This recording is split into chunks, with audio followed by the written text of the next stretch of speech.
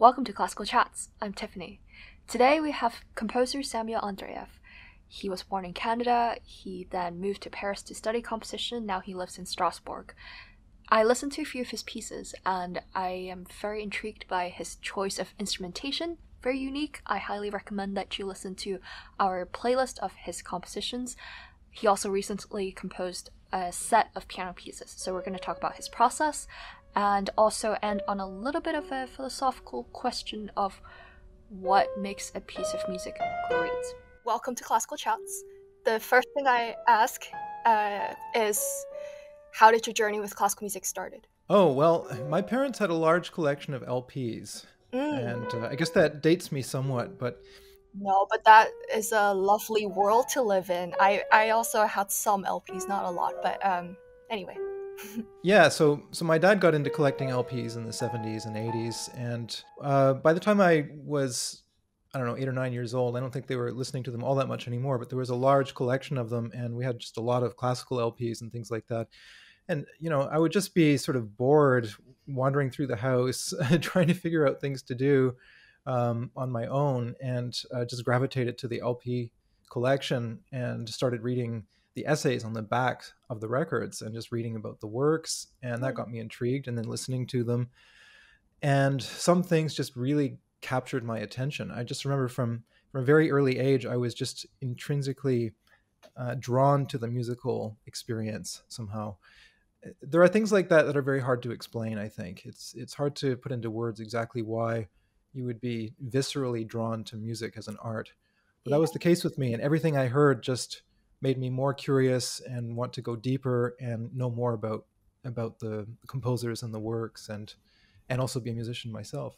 That's very interesting because uh, it seems like you came to music from reading so much about the background and uh, I, I don't know how old were you when you were kind of browsing through the lps oh probably eight or nine years old. Yeah that's um, quite intelligent i feel like and very intellectual way of approaching music because usually it's a very instinctive thing and um, i did not come to music from reading about music and really getting that history background. And from that point entering to music i was just having fun pressing keys.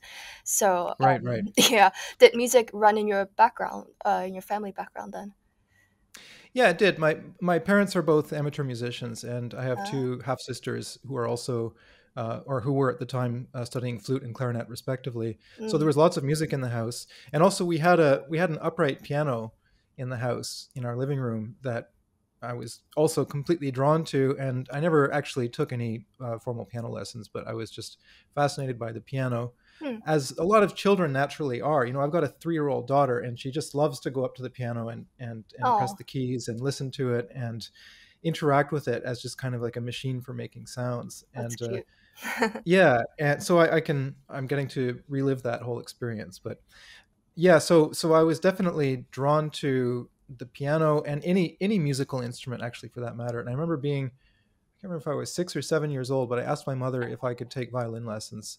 We I grew up in a really small town in Ontario in Canada, and uh, there wasn't a great deal of musical activity there. There certainly you know we had no orchestra or anything like that. Uh, but I just remember asking her, "Can I t- can I take violin lessons?" And she let me do it. So we found a local violin teacher, and um, and I started doing that. So that was the first instrument that I picked up. Mm, how many more did you pick up since? Well, I played violin until we moved to Toronto, which was when I was eight years old. And at that point, um, I switched to cello. I don't remember exactly why, hmm. but I started taking cello lessons. And at the time in Ontario, there was really excellent public music education. So if you wanted to, you could enter this sort of special musical program uh, that took place, I believe, during lunch hours and after school and this sort of thing. And it was free, and anybody who wanted to participate could. So they would make sure you had an instrument and you would get lessons, uh, and then there would be collective um, music making, you know, either you know the band or the orchestra or whatever it would be. And I can't emphasize enough how absolutely critical those sorts of experiences are for young yeah. people so that certainly made an impression on me and i got to play the cello not only just take cello lessons but also from a very early stage learn how to play with other people learn how to play in a in an orchestra or in an ensemble mm. and i did that from when i was i guess about 9 until gosh, I don't know, 15 or 16, something like that. And when I was 17, I switched to the oboe. So Hmm. I had three instruments that I learned. You had a lot of interests then, switching around and really getting to know different uh, instruments. So from oboe, and then at some point, I guess you switched to composing, or was it simultaneous? The, com- the composition was always there. That was always Huh. present. Yeah, from from when I was very very young. I remember I would spontaneously invent music in my head or whistle it to myself or try to write it down. You know, one of my early cello teachers, I used to pester him at the end of our lessons and say I've got this idea and I'd play it for him on the cello and ask him if he could help me notate it. And so he would give me uh, sheets of music paper and and try to help me write them out and that kind of thing. So that's sort of how it began. Hmm. Uh, but I was always involved in trying to invent music somehow or another with whatever means I had at the time. And in terms of actually studying composition, I didn't start to do that until I was 18. So up to that point, I was really self-taught and just trying to figure out really basic things. How do you, you know, how do you write music down, learning basic music theory, that kind of thing. Did you see yourself pursuing or becoming a musician around that age? I didn't have a clearly defined goal at that stage. I just knew that I was completely gripped by music and by musical experiences. The thing is, I was actually interested in quite a lot of different things. Uh, I, I, suppose one of my basic attributes, and it can be as much a, a, a, a it can be as much a, problem as a quality, is that I'm excessively open-minded. So I was interested in lots of different things at the same time. Hmm. So I was interested also in the visual arts and uh, poetry and literature and all kinds of things. And there was a time during my adolescence where it wasn't really clear which of those things would be my main focus. Mm. So when I was a teenager living in Toronto, I was intensely involved in the world of poetry. And um, yeah, very, very closely involved with that. And also music at the same time. So, but at the same time, I mean, music was the thing that, that was the closest to me. And I think part of the reason for that is it was the thing that I found the most difficult and it was the thing that seemed to resist me the most and i can't help but be fascinated by things that are difficult or that resist me because there's like a it's almost like a challenge you know? Hmm. it's like a, you you want to you want to understand this thing better. And with music i just had the sense of something almost unfathomably profound that you could almost never quite get to the bottom of because there's just so much to it. There's so much depth there. There's so much richness in a in a great work of music. Hmm. But then I guess you really wanted to fully pursue that uh, search for what it is that makes music so profound and really decide to pursue it professionally.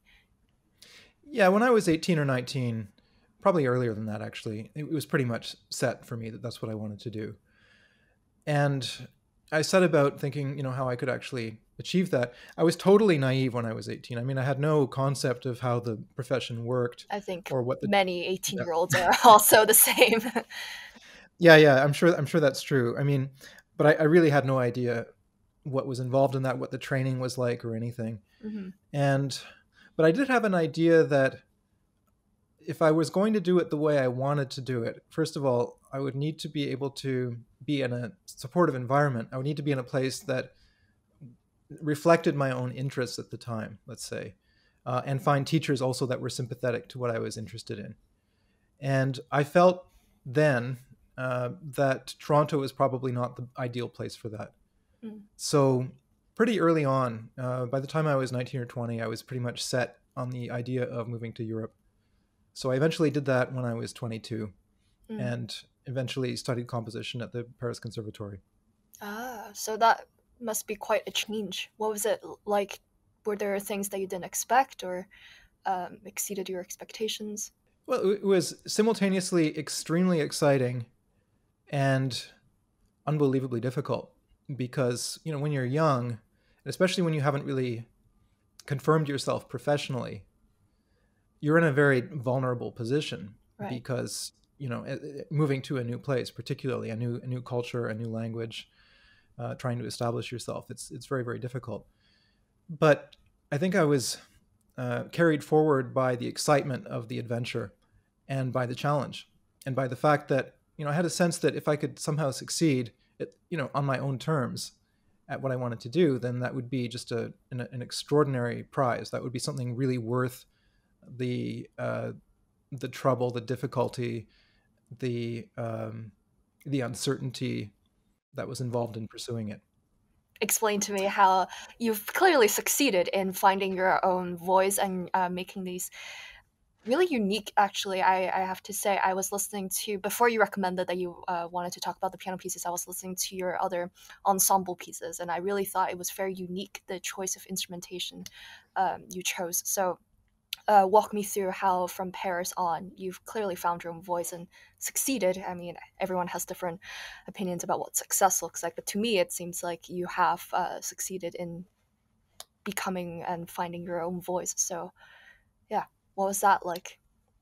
Yeah, well, well, first of all, thank you. Uh, I have no idea how my career trajectory is perceived, so it's it's funny when you when you're in the inside of it. Of course, you you you're you're besieged with doubts. So that's just you know that's par for the course. I think every musician has has that experience. But um, well, what I can say is the the the Paris experience was interesting because I mean, I, so the school that I went to is a bit unusual in the sense that it's it's the, the music training that happens in France is highly hierarchical in nature. It's like a pyramid.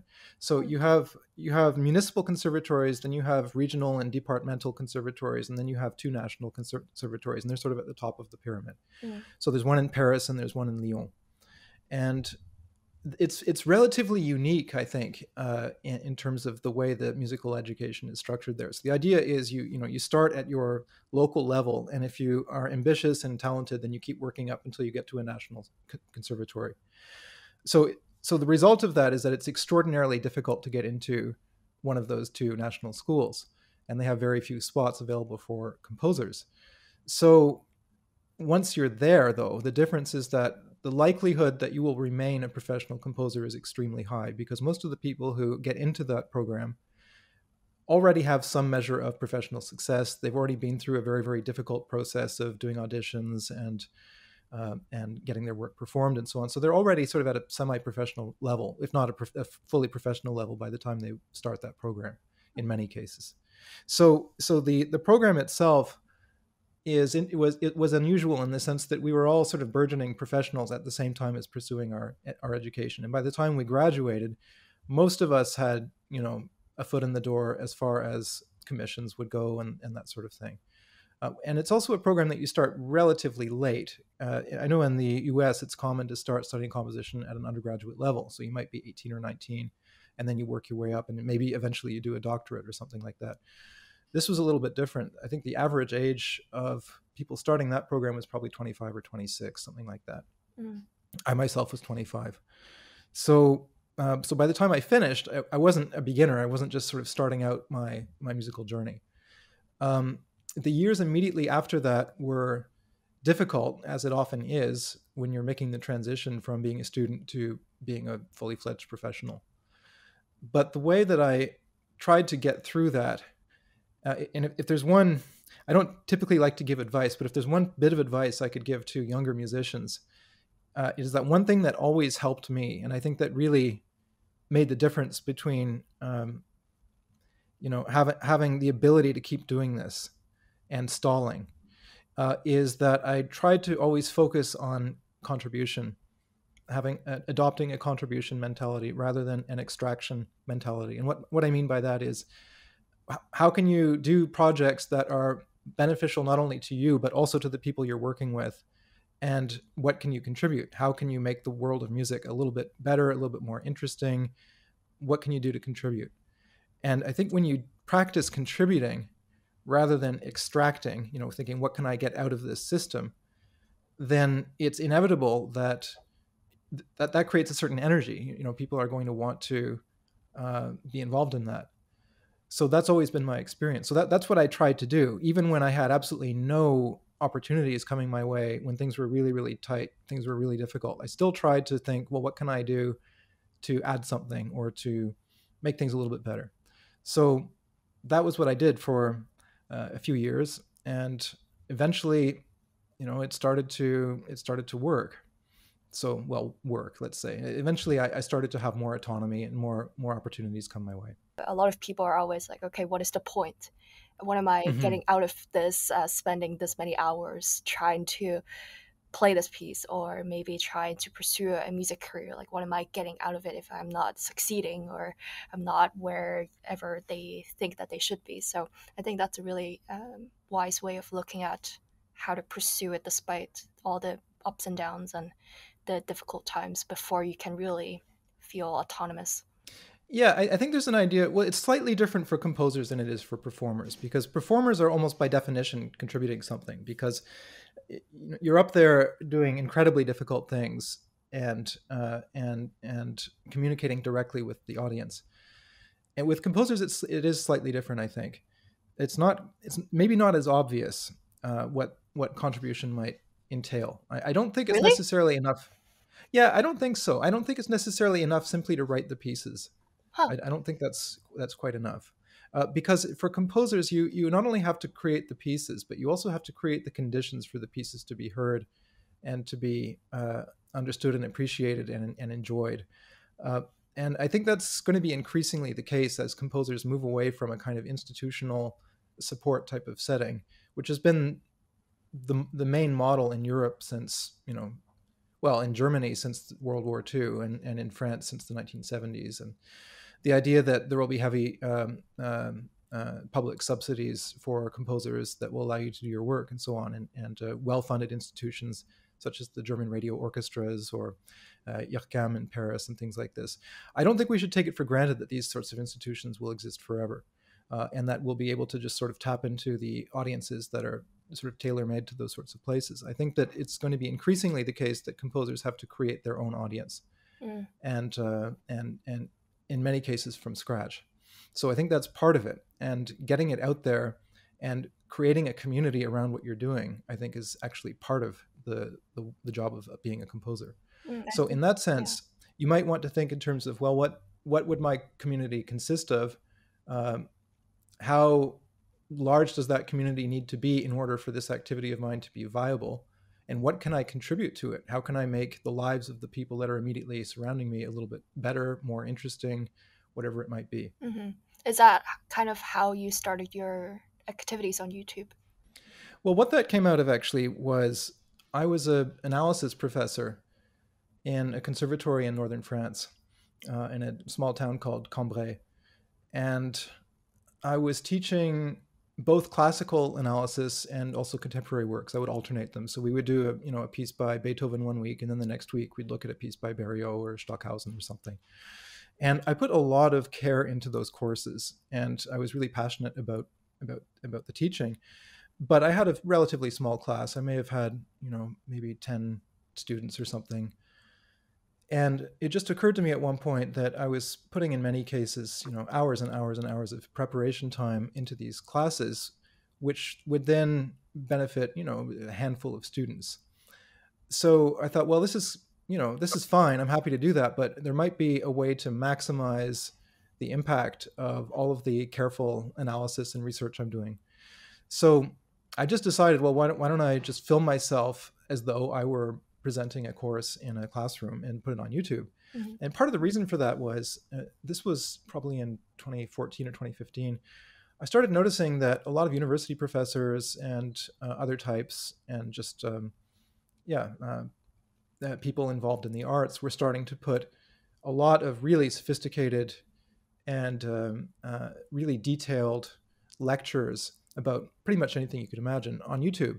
You know, YouTube was no longer simply a platform to watch some funny cat videos and things like that, but it was something where you could actually get an education and a, a free education also, and that this was accessible to everybody.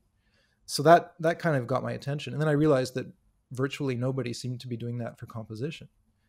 So I just thought, well, why not start offering my course materials online? And at first, I did it in the crudest way imaginable. Like I, I had no technique, no equipment, had no idea how to do it. I would just film myself in one take, no editing, nothing, hmm. and just put it up on YouTube. And I thought, well, you know, if if 50 people watch this, then 50 is more than 15. So that's already an increase in the number of people who are going to get to see these lectures. But it very quickly grew, uh, much to my surprise. I did almost nothing to promote the videos. I just put them on my YouTube channel, and I guess through Facebook and social media and other people promoting them, and uh, I got the attention of a few high-profile people early on, and they started to share them, and then it just it just grew from there, and soon I was getting thousands and thousands of views. So um, so that was a real eye opener, and it, it showed me also that there's a tremendous demand for this kind of knowledge, yeah. and all over the it's all over the world. I mean, people in 160 countries are watching my videos, and it's it's just completely crazy to me. The internet is uh, quite surreal in that sense that it can really exponentially expand your your uh, audience. And well also it's not really a surprise that your videos um, had such high views because there i saw a couple of them um, before i reached out to you and i thought they were very well explained and very easy to follow and also very educational. So congratulations. Thank you very much. Um, so from 2014 2015 we're getting there getting closer to the piano pieces uh, anything else in between that um, would be interesting to share before we jump five years ahead well, you mentioned the ensemble pieces and the unusual instrumentation, and I think that's something that's been a feature of my music since pretty early on. One of the things I'd say about that is I was really fascinated by woodwind instruments, which is, I suppose, a natural thing being an oboist.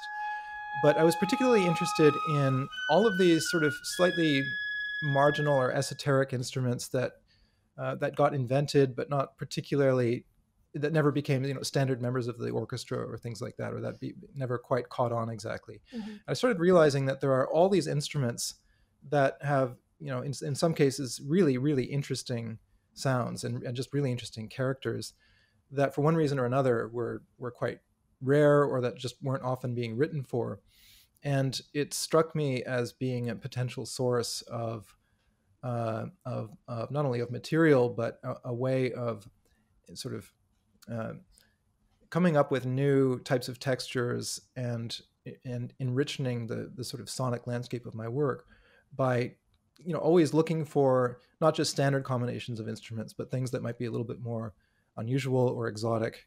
And uh, and trying to go as far as I could in that direction. So that that's been uh, a fairly prominent part of my work, I would say, from the beginning.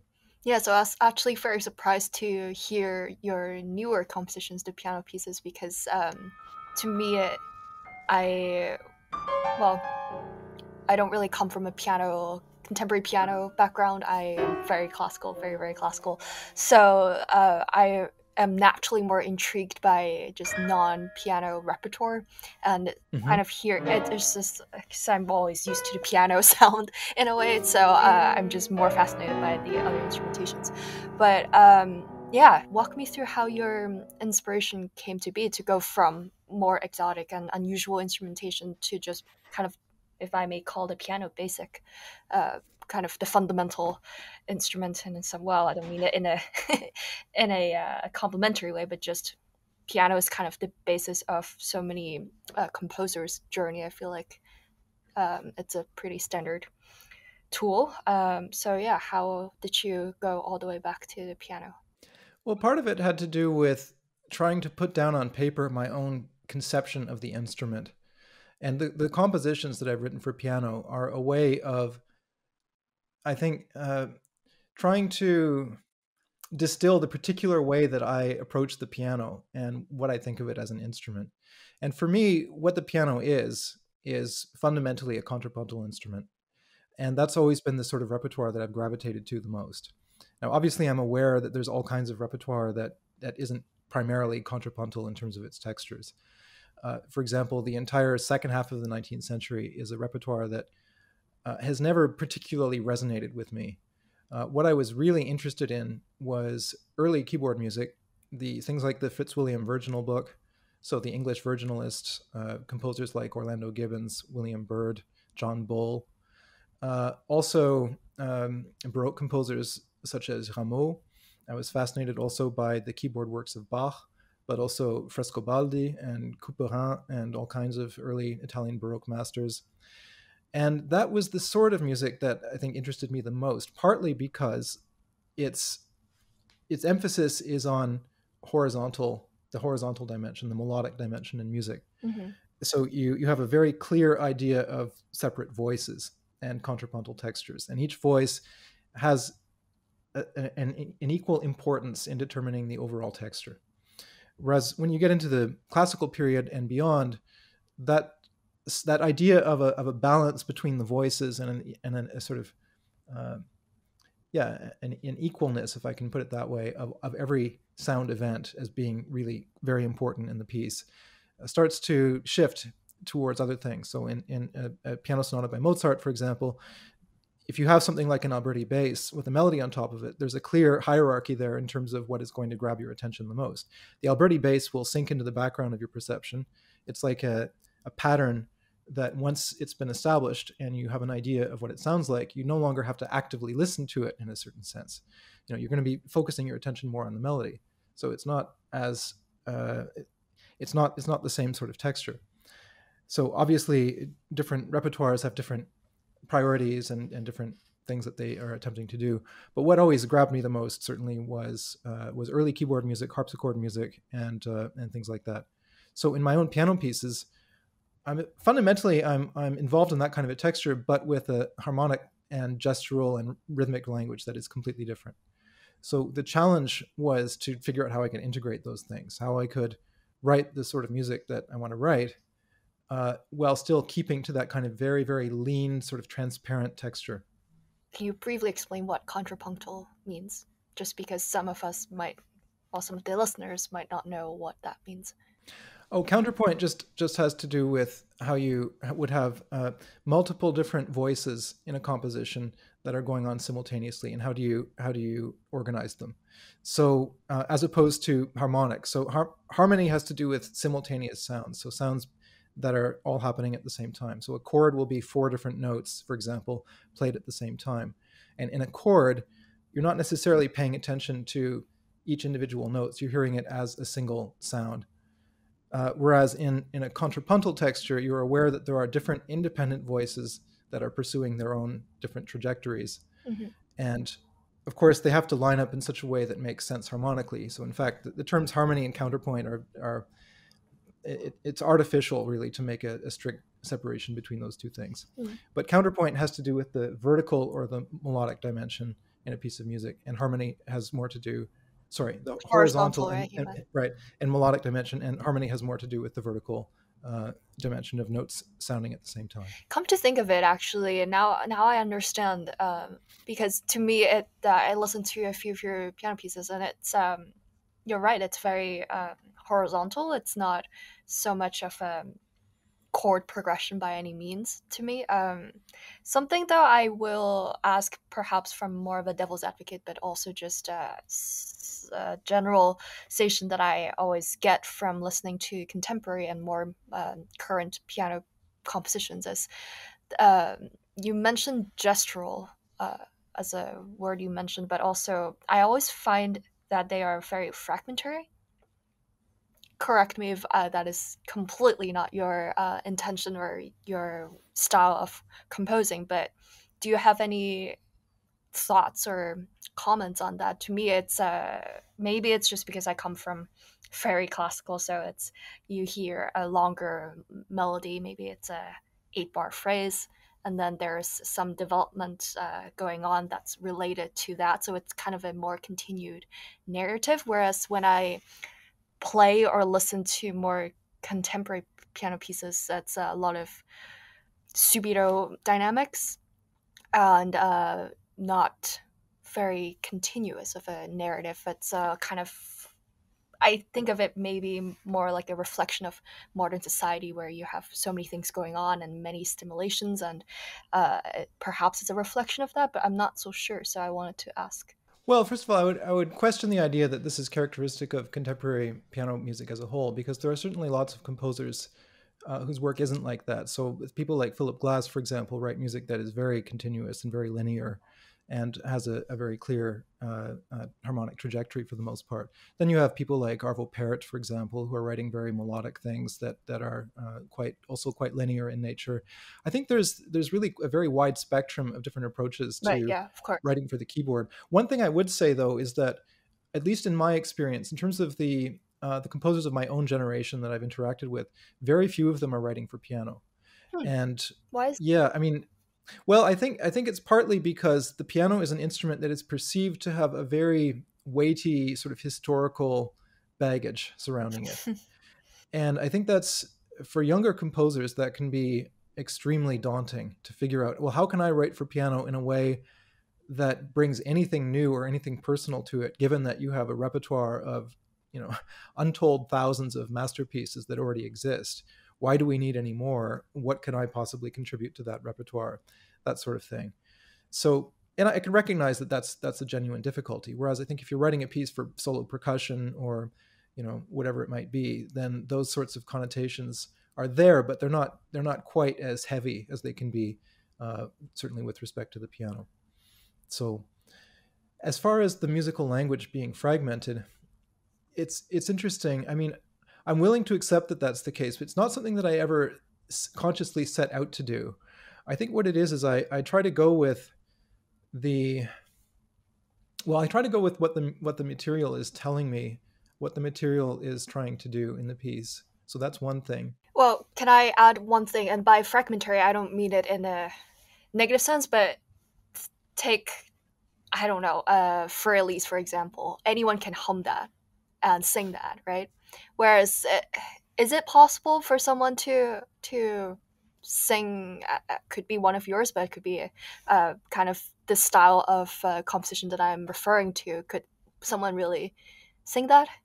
So that's what I mean by fragmentary, not necessarily that it's a. Uh, mean, I realize it's an overgeneralization, but also just a little background. The few piano pieces that I have uh, been exposed to, they were part of competition repertoire requirements. So, of course, mm-hmm. in those scenarios, they're trying to uh, challenge your way of playing and to get all the possible uh, technical virtuosity possible within a 10 minute piece. So uh, I realize I'm very limited in my exposure to that contemporary piano repertoire in general. But um, yeah, that's what I meant by fragmentary, not maybe not necessarily right. even composition style, because it depends on how mm-hmm. long your attention span is and your uh, focus is. But that's what I mean by fragmentary.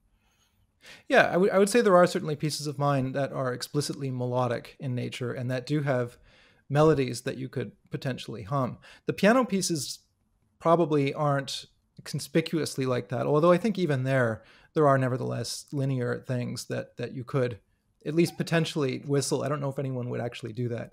Uh, but when I look at 20th century piano repertoire, for example, or, or 19th century piano repertoire, there's a lot of things where I think it would be ex- extraordinarily challenging to to whistle them. Like yeah. if, you, if, you, think of things like Scarbo, for example, by by Ravel, you know, or uh, or some of the etudes of Chopin, for example, or all kinds of things like that, where where there's a, a very high degree of virtuosity and there's very complex textures and that sort of thing.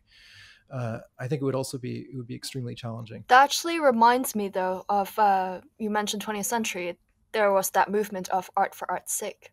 So mm. perhaps that still is permeating the style of composition in a way that you know, it's not meant to be sung or it's not meant for a use or a certain purpose external to the music itself. So uh, maybe it's part of that. I don't know. Well, I've never really understood what's meant by art for art's sake because I don't think I don't think anybody would invest themselves in the manner that is necessary to be a composer if there was absolutely no intention for you know what they wanted it to do in the world or what they wanted it to be for uh, if it was just simply an activity pursued for its own sake. I mean, an activity pursued for its own sake for me is a is essentially a hobby. You know, it's like if you if you if you collect um, I don't know postage stamps or something. That that's an activity that you pursue for for its own sake. But I don't think anyone would devote their entire life to art if if it were just merely a kind of circular activity with no particular uh, intention behind it. Hmm. I mean, there are. Sorry, uh, I'm. I also come from a, a philosophical study. I, I actually studied philosophy and not music when I went to uh, undergraduate. So pardon my my sudden uh, interruptions, but I'm Please. fascinated just because uh, you mentioned hobby collecting stamps. Is it for its own sake or is it just for yourself? Well, I think I think the, the question ultimately is what what expectations do you have surrounding the activity? What what do you expect to come of it? Right, which so, leads so, me to asking you what do you see your composition as doing? You know, clearly, uh, you don't think that it's just for the notes or for the music itself or for what art for art's sake. So, what does that mean in terms of uh, for your own composition and your pursuit? Oh, okay. it's a great question. So there's there's a there's a few things that are sort of nested inside of each other. So one on on the most basic level, the most obvious thing I can say is that composition has given me a life. You know, it's given me a sense of purpose. It's given me something to reach for. It's given me something to strive for, and it's given me something, you know, that I can I can devote myself to fully. That constantly forces me to stretch myself to the very limits of my abilities. Mm. And I think that on any level, regardless of what you do uh, in your life, I think it's it's extraordinarily valuable to engage in a pursuit of that kind. You know, whether you're an artist or a plumber or whatever it might be you know it's it's extraordinarily useful to to frame things in those terms so if you if you have a life in that sense if you have something uh, exalted that you're that you're aiming towards then that will have positive repercussions for, not only for you but also for the people in your circle also for the people in your family mm-hmm. Uh, and potentially also for your community and et cetera et cetera. So so that in, in that sense i think it's it's incredibly valuable to try to pursue something like that and to do it in a way that is uh, as as devoted as possible. Well it definitely shows from even your way of explaining your process and your compositions so um, commend you for that. I wanted to end on one last thing which is uh, i read on your website that you're obsessed with explaining what makes a piece of music worth listening to or what makes it great. So if you can put that in a nutshell, I know people have written thousands of articles, essays, books on, you know, what is great music, why music, what is music. So anything you want to end on to kind of encapsulate um, your approach to music or maybe your composition? Well, I often think of Bach uh, when this question comes up because one of the things that really strikes me in terms of Bach is how many different dimensions his music touches upon. So it has a aesthetic function, obviously. It has a dance function. You know, he wrote some incredibly exciting rhythmic music. There's also a theological slash religious function in his music that's very clear. There is a scientific aspect to it, a technical aspect through his pursuits of, you know, finding the, the limits of counterpoint, finding the limits of what you can do uh, uh, chromatically on a keyboard, things like that. Uh, and there's also a pedagogical dimension through things like the two and three part inventions, through all of his attempts at writing pieces that could that could serve as a kind of instruction, not only for young keyboardists, but also for uh, composers or, or just anybody wanting to know more about music. So what I think is fascinating is is you have something that encapsulates an entire worldview. Like it, it imagines that the person engaging with the music is a is somebody who wants their complete being to be affected by the music uh, on every dimension and i think that's a really worthwhile goal for composers to have in other words the you know a great piece of music is something that is really multidimensional. It, it encapsulates a worldview. It, it, it encapsulates whether intentionally or unintentionally an entire system of values. What do you think is important? What is, what sits you know upon your personal hierarchy? Uh, why are those things important? And then, if, in addition to that, obviously, there's the whole technical aspect of how the piece is actually put together. But when I'm analyzing a piece or when I'm presenting a piece publicly, I always try to get to the heart of what is the composer trying to do with the piece? What does the piece mean? Uh, what does it do in the world? Uh, what is unique about the piece also that maybe uh, another piece or another composer would not have done? And then you start looking at the how of it. In other words, what particular choice does, did the composer make in attempting to bring all of these things about? And the, the technical aspects and the, and the tools that a composer will bring to bear upon a particular musical project are always chosen uh, uh, with regards to the thing that they're trying to say. You don't start by saying, oh, I'm going to write a piece using this or that technique, and then we'll just see what happens out of it. Or at least I don't. Uh, I, I, would I would start by having uh, an idea of what I think is important, what I want to, to say, and then finding the appropriate techniques and tools and so on that I need to to say what, whatever it is. Hmm. That actually brought another question to my mind, so I apologize for my lie about that being the last question. Um, you you said uh, you want to know what does that piece mean when you look at a piece of music. So, since I would love for our listeners to also listen to your compositions and your piano pieces that you wanted to recommend and talk about uh, for our chat, what I mean, there are many piano pieces within that suite. So, what did they mean? If someone were to analyze your music, what should they understand from it? Just because you had um, said that's kind of how you look at music, you kind of ask this question: What does it mean? So, what does your piano piece mean? Yeah, see, this is where I start to seem a bit two faced because I'm happy to do it for other people, but it's much harder to do it uh, for my own work. And what I would probably say, and I hope this doesn't sound like a cop out, but I would I would probably refrain from uh, from describing what the pieces mean because I, I, mean I know what they mean to me, and I know what they mean to a lot of people who listen to them. But I, I honestly think it's it's better with respect to my own work to let the listeners sort that out for themselves. And if they're intrigued by them enough to listen to them again, then they can yeah it sounds completely it's uh, so interesting because imagine if you were analyzing a chopin piece and that is what chopin is saying to you while you're trying to analyze and ask the question what it means it's a very interesting um, paradox if i can call it um, yeah but well there are there are composers that are really concerned with explaining what they've done to the public you know there's okay. a few a few examples come like stockhausen was obsessed with that he was always giving these lectures these lengthy lectures explaining in tremendous technical detail exactly what he was trying to do in this or that piece. I'm not particularly interested in doing that. I, uh, to some, when it comes to my own work, maybe it's because there are certain things in the work that are so personal or almost secret, I suppose, that it it would be ex- extremely difficult to imagine trying to trying to explain them. Yeah. Uh, a lot of what I do is really intuitive. Uh, it probably doesn't come across that way, but it's but on on on one level, if you if you get down to the bottom of what I'm trying to do, a lot of it is intuitive and, and actually hard to put into words. So that's probably part of it. And and frankly, it's just better when somebody else does it, when somebody other than the composer, I think, looks at it from a certain distance and then can put it into a, a context in a way that I personally can't because I'm too close to it. So that's also part of the reason why, you know, I probably wouldn't want to do that myself. That's a that's a very interesting point to end on, I think. Also, by the way, congratulations on your recent world premieres. You were mentioning how uh, having that distance and hearing other people uh, interpret and analyze your music that reminded me of your recent premieres. So, I wanted to say oh. congrats. Congratulations. Thank you so much. That was a good feeling to have a, a concert with a live audience. Again. Yeah, I was uh, also want to mention or ask whether the pandemic has influenced your composition. I guess okay, this will be the last question. we'll end it there, I swear.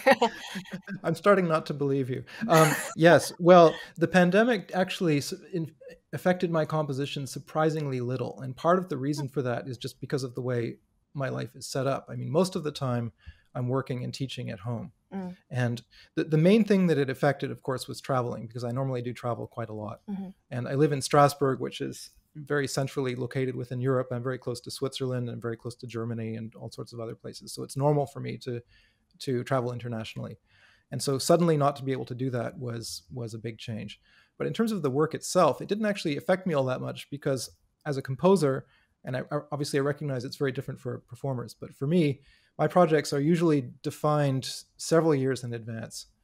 So, you know, if I if I have to write a big piece, then probably the contract is signed and and the terms are agreed upon you know minimum of two or three years hmm. before the premiere will actually happen so in that case you know having an interruption of four months or six months or or even a year didn't actually really disrupt things all that much because i still had you know a, a long list of long-term projects to work upon hmm. so that's what that's what i've been doing for the past year i've obviously been going out a little bit less i've, I've been traveling less and uh, it was also very disruptive not to have daycare because I have a young daughter. So I had to learn how to work with uh, with you know with my family around all the time, uh, which was also actually really nice.